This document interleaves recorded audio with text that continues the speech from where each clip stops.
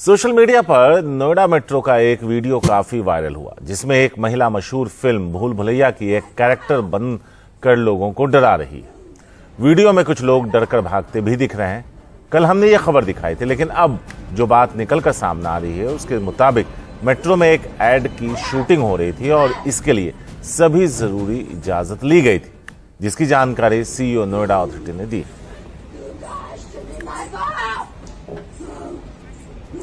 रितु महेश्वरी जो सीईओ हैं, उन्होंने ट्वीट किया, यहाँ पर यह स्पष्ट किया जाता है कि सोशल मीडिया के अलग अलग प्लेटफॉर्म पर एक वीडियो वायरल हो रहा है, वो कमर्शियल विज्ञापन का हिस्सा था।